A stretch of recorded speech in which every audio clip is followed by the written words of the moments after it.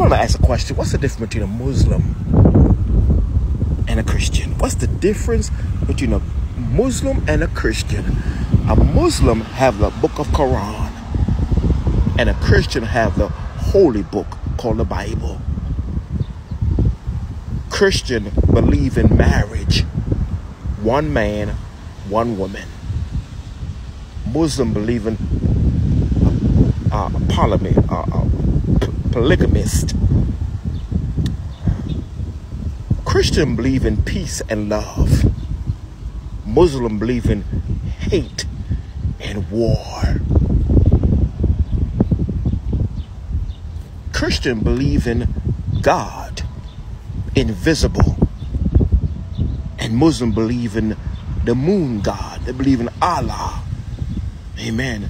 They believe in Elijah Muhammad, which was a rapist. Elijah Muhammad had sex with little girls. Elijah Muhammad was a man of war. And Jesus Christ was a man of man of peace and love.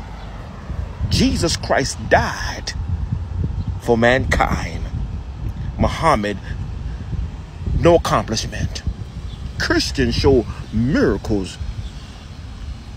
Muslims show no miracles at all. Christian, hey, close to God.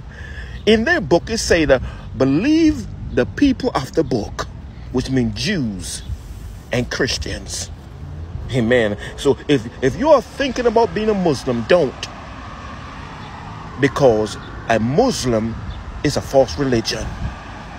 If you ask them who wrote the who wrote the Quran, they don't know. But if you ask a Christian who who wrote the Bible, they say holy man God spake that was moved by the Holy Ghost. There were 40, 40 authors. Amen. We our book is composed of of origins, poetry, prophecy. Hey, glory.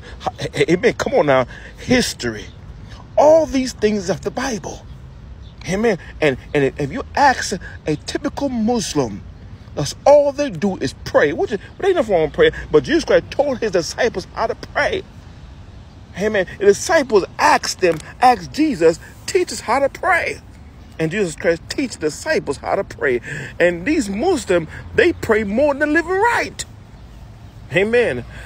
Uh, we Christian men, we love our, our wives. But a Muslim slap your wife into place. So I'm telling you, the difference between a Christian and a Muslim, Christian is true. Muslim is false. Amen. Jesus was sinless. Muhammad had a lot of problems.